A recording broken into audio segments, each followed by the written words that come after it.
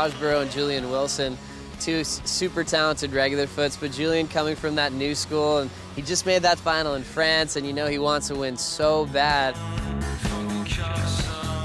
Opening his account here in quarterfinal number one. How much fun this little he's thing coming is. out. Oh, you know he's coming out. Oh. Oh, he's the punt. There it is. Land it. Oh. Ah. And Taj had him comboed at the end, and Julian got that 10-point ride just to seal the deal. He thought he was going to get back into it, but he ran out of time. But it was one of those heats, too. It was so fun for the fans to watch, and you know it was a tough one to lose for Julian because he did get that perfect wave right before the heat ran came to a close.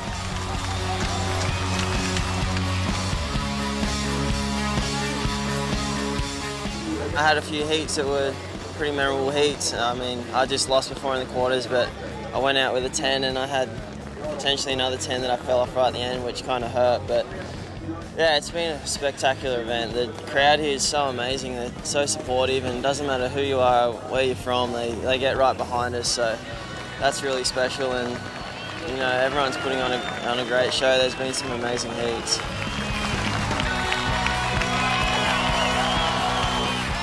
Kelly Slater and Aitor Alves. Of course, on paper, you would think that Kelly Slater would win. And of course, out in the water, that's exactly what happened. Kelly drops in. Good looking wave here. He's in, like driving through, and Flips. oh, And bends back out, out, and he's out.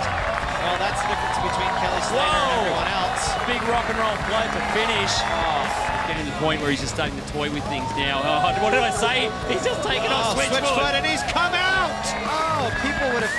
Davo would have killed for that wave in his heat That was a against heat Julian winner. earlier. That was a heat winner in that heat.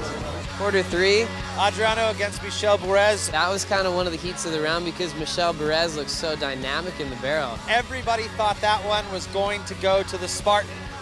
And uh, Adriano de Souza had other ideas.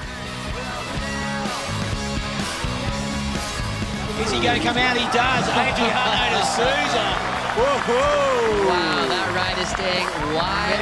And it was a 10 point ride. And he won the heat, but just by a little bit.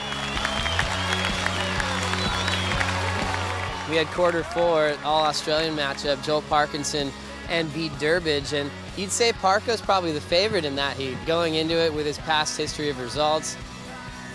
Bede Durbidge had that one left where he was so deep on, he wasn't supposed to make it, got that 977 and made his way into the semis. So pretty exciting through that quarterfinal scenario to see what was going to happen in the semis.